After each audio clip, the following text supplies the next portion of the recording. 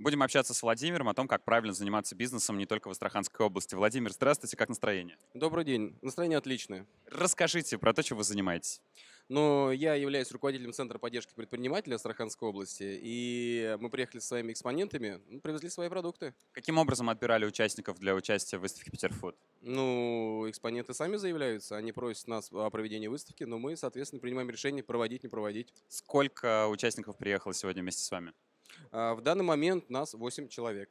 Слушайте, это прекрасно, это хорошая, большой, дружной делегации. Вы находитесь здесь. Какие задачи ставите перед собой вот для того, чтобы выставка прошла для вас эффективно?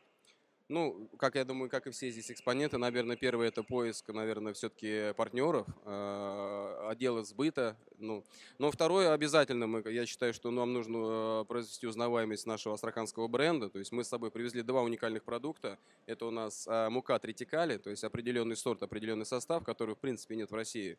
Она э, подходит для диабетиков, для спортсменов, ну, очень широкой категории граждан.